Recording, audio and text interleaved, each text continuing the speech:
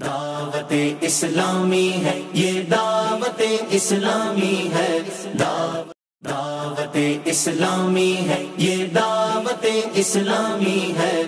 दावत इस्लामी है, ये दावत इस्लामी है। दावत इस्लामी है, ये दावत इस्लामी है। दावत मोहम्मद। इल्म दीन एक बहुत अहम फरीजा है। हर मुसलमान मर्द औरत पर दीन का इल्म सीखना ज़रूरी है। और अल्हम्दुलिल्लाह दावत इस्लामी इल्म दीन को आम कर रही है।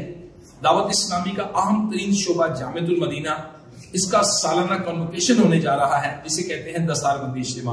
दावत इस्लामी है ये दावत इस्लामी है।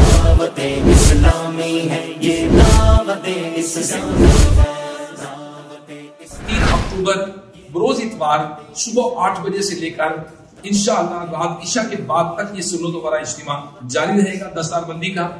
और दावत इस्लामी की मरकजी मजलिस शुरा के निगरान ईशा की नमाज़ के बाद बयान फरमाएँगे और दस्तारबंदी का इज्तिमा होगा। आपसे भी दरखास्त है कि आप दस्तारबंदी के इज्तिमा में आप ज़रूर ज़रूर ज़रूर ज़रूर ज़रूर इसमें शिरकत फरमाएँ। इंशाअल्लाह कमोबेश एक हज़ार से जायद तलबा पूरे पाकिस्तान में जो फारिग तहसील हुए हैं, इनकी दस्तारबंदी होगी इंशाअल्लाह और मरकज रोलिया लाहौर में फैजान मदीना, काना में इंशाअल्लाह दस्तारबंदी का